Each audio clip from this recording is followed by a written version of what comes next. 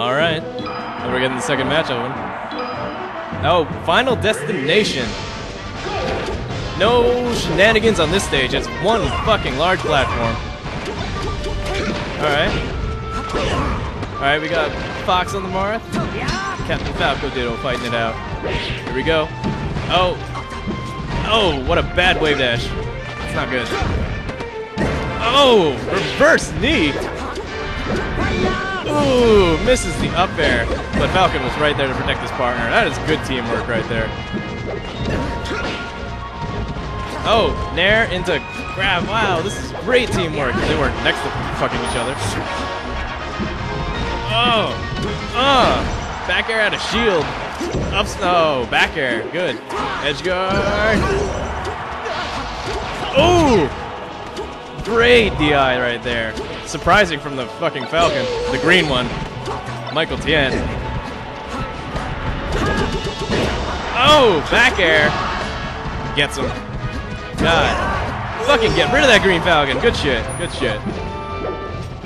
Oh my god.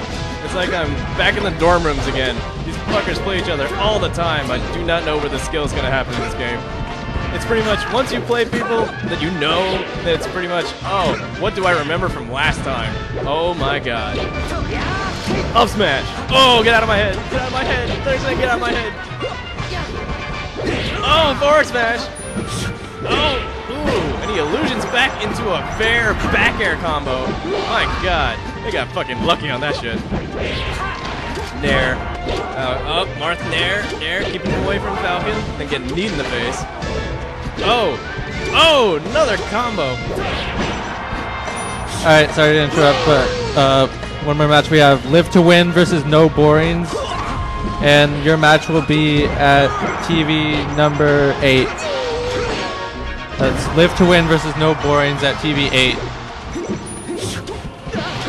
And now we're back, and the tide just seemed to turn for the red team as they are getting fucked up right now. They are down two stocks against a very gay Falcon and a very, very patient Marth. Oh shit, that's patient. Oh. Oh, he grabs him in the knee. And the Fox? Oh, wow, that was, oh, I don't know what happened there. Kind of grabbed the ledge before the Marth could grab on again. And Falcon's dead. Here we go. I want to see the hot shit. That ain't Falco. Falcon! Oh, he Falcon punches some motherfuckers!